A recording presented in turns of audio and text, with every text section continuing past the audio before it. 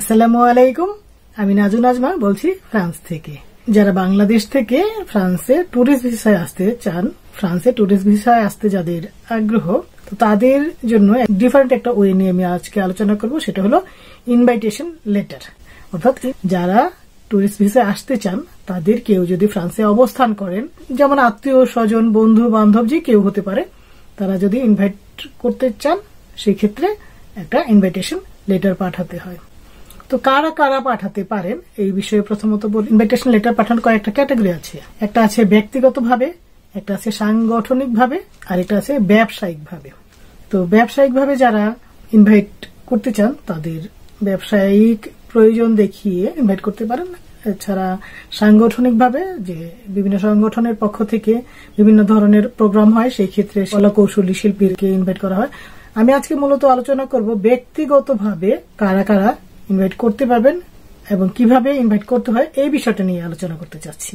তো ঠিক আছে, আসুন তাহলে একটু বিস্তারিত আলোচনা করে নিই। তো কারা ইনভাইট করতে পারবেন? যারা ফ্রান্সে বসবাস করেন, যাদের দশ বছরের রেসিডেন্ট কার্ড আছে। তো সেই কার্ডগুলি বিভিন্ন ধরনের হতে পারে।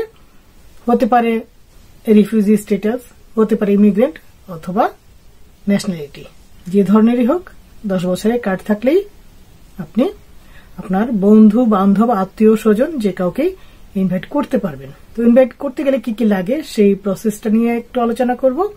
আর একেবারে খুব সামান্য কিছু ইউরো লাগবে, তো সেটাও আমি বলে দেব, যদিও একেবারেই সামান্য লাগবে। তো যিনি ইনভাইটেশন লেটার ইস্যু করতে যাচ্ছেন আপনাকে যেটা করতে হবে যে আপনি যে এলাকায় বসবাস করছেন, সেই এলাকারই মেরি থেকে এই ইনভাইটেশন লেটারটা ইস্যু করতে হয়। তো মেরিতে এই ইনভাইটেশন লেটার সংক্রান্ত কাজগুলি যারা করে, ওই সেক্টরে আপনাকে যেতে হবে ডিমান্ড করতে হবে। আপনার কিছু ডকুমেন্ট জমা দিতে হবে, সেই ডকুমেন্টগুলির একটা লিস্ট দিবে। তো ওই লিস্ট পেলেই আপনি বুঝে যাবেন আপনার কি কি প্রয়োজন। তারপরেও আমি আপনাদের সুবিধার জন্য একটু ধারণা দিয়ে রাখছি। প্রথমত আপনার রেসিডেন্ট কার্ডের ফটোকপি লাগবে। দ্বিতীয়ত আপনি যে বাড়িতে থাকছেন, সেই বাড়ির একটা ডকুমেন্ট লাগবে। আর তা হলো, আপনার বাড়িটা যদি কেনা হয়, তাহলে যে কেনার একটা এগ্রিমেন্ট থাকে, সেই এগ্রিমেন্টের একটা ফটোকপি লাগবে।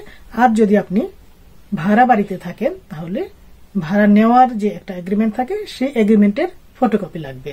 আর সর্বশেষ ভাড়া পরিশোধের একটা ডকুমেন্ট লাগবে, যেটাকে আমরা এখানে কিতুন্দু লয়ে বলি।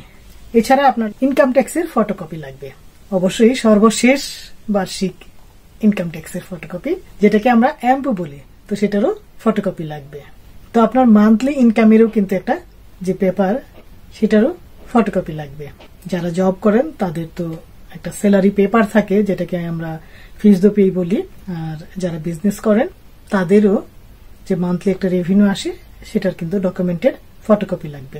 যারা বিজনেস অথবা চাকুরি করছেন না, তারা যদি কাফের টাকা পান, তো সেক্ষেত্রে কাফের টাকা যে পাচ্ছেন, সেটার একটা স্টেটমেন্ট দিতে হবে। এছাড়া লাগবে আপনার লিপদুফামি যাদেরকে ইনভাইট করতে যাচ্ছেন, তাদের পাসপোর্টের ফটোকপি লাগবে। তো সব ধরনের ডকুমেন্টেরই ফটোকপি দিতে হবে, কিন্তু সাথে অরিজিনাল পেপার নিতে হবে, আর লাগবে সামান্য পরিমাণের একটা ফি তো গত বছর আমার জানা মতে ফিটা ছিল ত্রিশ ইউরো থার্টি ইউরো তো আমি জানি না এই মুহূর্তে এই পরিমাণটা কি বেড়েছে কি কমেছে। যাই হোক, আমি এই মুহূর্তের খবরটা জানি না। এরকমই আশেপাশেই তো হবে, খুব বেশি তো বাড়া কমার কথা না। আর একটা ফর্ম দিবে, সেটা ওই তাৎক্ষণিকভাবে ওখানে বসেই কিন্তু ফিল করতে হবে। তো আগে যেটা হতো, ফর্মটা বাসায় দিয়ে দিত, বাসায় থেকে ফিল করে জমা দেওয়া যেত। কিন্তু এখন যেটা হয়, এই ওখানে বসে আপনি আপনার যে ডকুমেন্ট এগুলি দেখে দেখে ওই অনুযায়ী ফিল করতে হবে, কিন্তু তাদের সামনেই। তো ফর্ম ফিল করাটা খুব বেশি কঠিন কিছু না। তারপরে আমি একটু ধারণা দিয়ে রাখছি। যিনি আবেদন করবেন ইনভাইটেশন লেটারের জন্য, ওনার নিজের নাম, ঠিকানা এবং ডেট অব বার্থ এবং যার জন্য ইনভাইটেশন লেটার পাঠাবেন, তার নাম, ঠিকানা ডেট অব বার্থ এবং ওনারা কত দিন, অর্থাৎ কত তারিখ থেকে কত তারিখ ফ্রান্সে অবস্থান করবেন, সেই তারিখটা উল্লেখ করতে হবে। যারা আসবে, তাদের সাথে আপনার রিলেশনটা কি? বন্ধু, বান্ধব, আত্মীয়, স্বজন, যাই হোক না কেন, একদম স্পেসিফিক সেই রিলেশনটা উল্লেখ করতে হয়। তো এই ফর্ম জমা দেওয়ার মোটামুটি এক সপ্তাহ পরে আপনাকে জানিয়ে দিবে ইনভাইটেশন লেটার ইস্যু হয়েছে কি না অর্থাৎ রেজাল্ট পজিটিভ নাকি নেগেটিভ যদি অ্যাকসেপ্ট করে, তাহলে একটা ইনভাইটেশন লেটার দিবে। এই ইনভাইটেশন লেটারের একটা ফটোকপি নিজের কাছে রেখে অরিজিনালটা পাঠাতে হবে যাকে আপনি ইনভাইট করতে চাচ্ছেন তার কাছে। আচ্ছা এবার আসছি যাদেরকে আপনি ইনভাইট করতে চাচ্ছেন। তারা ফ্রান্সে এসে আপনার বাসায় থাকবে নাকি হোটেলে থাকবে? যদি হোটেলে থাকে, তাহলে আপনাকে হোটেল বুকিং দিয়ে ওই হোটেল বুকিং পেপারটা পাঠাতে হবে। আর যদি বাসায় থাকে, তাহলে কিন্তু কিছু ফর্মালিটিস আছে এখানে মেনটেন করতে হবে। আসলে এখানে চাইলেই বাসায় রাখা যায় না। তো আপনার বাসায় পর্যাপ্ত জায়গা আছে কিনা সেটা একটা স্টেটমেন্ট দিতে হবে। সেটা হলো এরকম। ধরেন আপনার চারজন সদস্য সংখ্যা। তো আপনার প্রথম দুইজনের জন্য নয় মেতকার করে লাগবে আঠারো মেতকার আর বাকি দুইজনের জন্য লাগবে প্রতিজনের জন্য আট মেতকার করে ষোলো মেতকার তাহলে কত হলো? আঠারো আর ষোলো। চৌত্রিশ মেতকার থার্টি ফোর তো সেই ক্ষেত্রে আপনার বাসায় চৌত্রিশ মেতকারের উপরে আরও কত মেতকার লাগবে? সেই হিসাবটা আপনার বের করতে হবে। যেমন ধরেন, যারা আসবে, কতজন আসবে?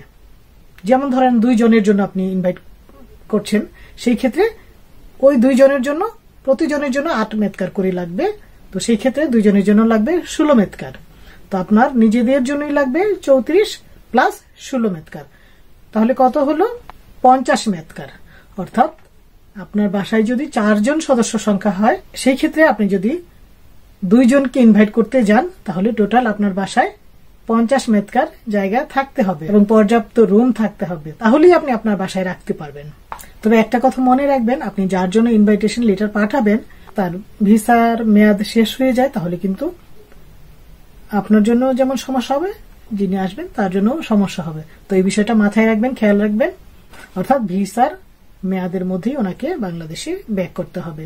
তো আরেকটা কথা বলে রাখি, এই এই ইনভাইটেশন লেটার জমা দেওয়া মানেই কিন্তু এমন না যে আপনার ভিসা হয়েই যাবে। ইনভাইটেশন লেটার যাদের জন্য পাঠাচ্ছেন, তো উনি যখন বাংলাদেশে ফ্রান্স এমবিসিতে ওনার সকল ডকুমেন্টের সাথে এই ডকুমেন্টও জমা দিবেন, তখন এমবিসিতে ওনারা বিবেচনা করে দেখবেন। আপনি ইনভাইটেশন লেটার পাঠিয়েছেন মানে এই না যে একেবারেই ভিসা একশো পার্সেন্ট কনফার্ম কারণ সব কথাই জেনে রাখা ভালো না জানার কারণে, ভুল ভ্রান্তির কারণে আমরা অনেক সময় বিভ্রান্ত হই সেই সেজন্য বিষয়টা একেবারেই ক্লিয়ার জানা থাকা ভালো, ঠিক আছে? তো পরবর্তী ভিডিওতে আবারও দেখা হবে, কথা হবে। সেই পর্যন্ত ভালো থাকবেন সবাই। আমার জন্য সবাই দোয়া করবেন। আজকের মতো তাহলে এখানেই বিদায় নিচ্ছি। আল্লাহ হাফিজ।